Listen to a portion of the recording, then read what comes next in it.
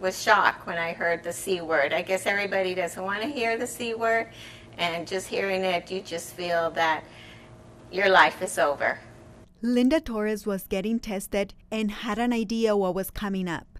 But on November 22, 2017, the day before Thanksgiving, she was still shocked to hear the news. When I got the phone call, it was just me and my husband, and I just broke down and cried.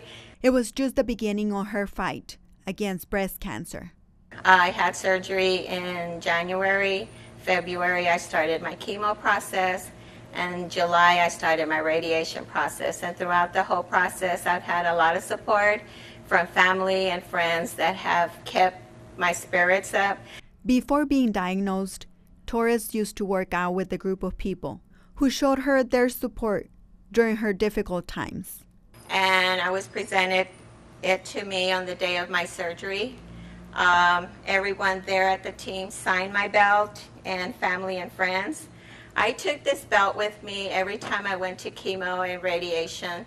This gave me hope that I would fight this. This represents being a fighter and being a warrior. The Pink Belt Revolution is an initiative from ATA Martial Arts that started about six years ago to raise funds for cancer survivors.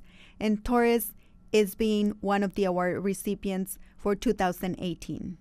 What we do every year is we request that people uh, give a donation anywhere from 10 5 10 to $20. Um, they'll receive a pink belt, and they'll wear that belt for the entire month of October. So uh, what Wishing for Mommy does is we actually grant wishes to uh, mothers who are battling breast cancer. Almost a year later, Torres has found a new mission for her to help others who are struggling with the illness. And anyone that has cancer, just believe that you will get better, and you will. You will. Just fight it and you'll get through it just fine. And as far as Thanksgiving this year, she will celebrate.